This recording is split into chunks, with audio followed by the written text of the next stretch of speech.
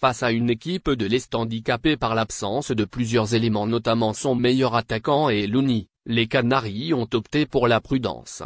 Il a fallu attendre les cinq dernières minutes de la partie pour qu'ils jouent le tout pour le tout et ils ont fait trembler les Tunisiens notamment après le but égalisateur de Rodjem. La qualification était largement à leur portée. Malheureusement la JSK rate encore une fois à cause des choix de Hamdi qui avait laissé sur le banc un joueur comme Rodjem.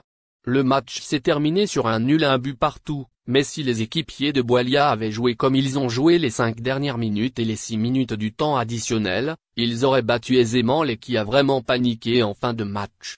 Optant pour des contres, Hamdi a trop respecté son adversaire qui a imposé sa domination pendant 85 minutes avant de donner des sueurs froides à ses supporters dans les dernières minutes de la partie.